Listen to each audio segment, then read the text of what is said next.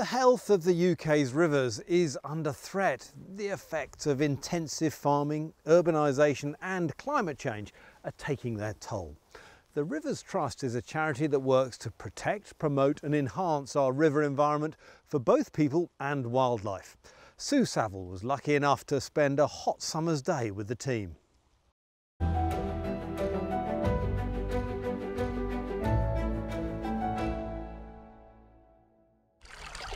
Vibrant freshwater habitats like this across the country support more than 100,000 known species of wildlife.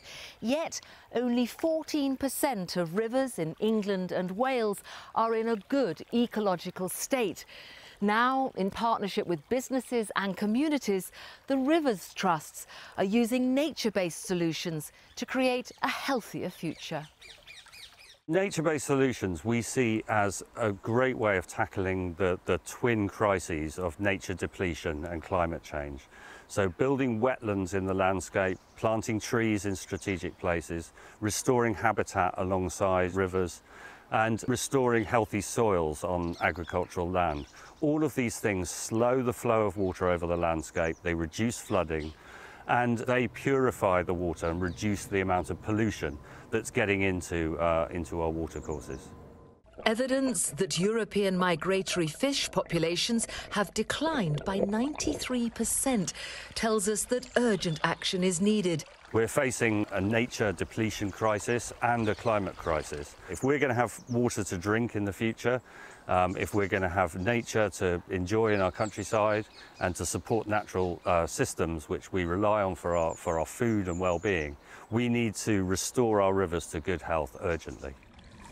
That's what's been happening in Richmond Park on the outskirts of London, restoring the river by adding meanders, trees and planting to enhance biodiversity, then tackling the quality of water draining into Beverley Brook.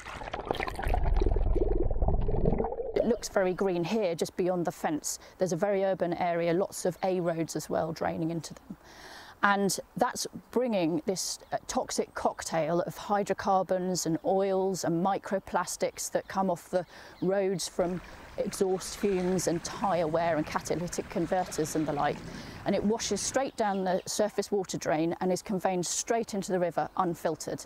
And that's really toxic to the, to the river and the wildlife that's, that's here. First, Bella's team put in a green solution, a large pond creating a silt trap on the adjacent golf course. Then a hard infrastructure solution, a huge hydrodynamic vortex chamber buried underground to filter incoming water, paid for by the local community and big business like Coca-Cola. Water is our business, so it's about really looking to make sure that there's water security, not just for our business and our supply chain, so, so our suppliers, for example, all the agricultural ingredients that go into our drinks, but also for communities and nature. So we take a very holistic approach to this.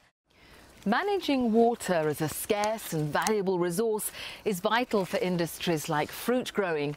Here in Kent, a partnership of organisations developed the Holistic Water in Horticulture project to address water stress and ensure supply chain resilience.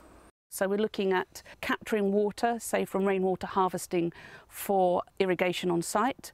Uh, so that would be increasing water self-sufficiency for the grower. And also looking at nature-based solutions such as sediment traps, floral strips, biodiverse ponds to reduce runoff. For this fruit farmer, supplying leading supermarkets, sustainable water supplies are vital as the climate changes. The weather patterns aren't as usual as they were. We, we can't rely on summer rain. We have to make sure that what water we're going to use we have stored or is sustainable. Um, otherwise, our industry will fail. Conserving the water we have, improving its quality, finding natural solutions to manage supplies. The rivers trusts are rising to these challenges in order to secure a more sustainable future for all.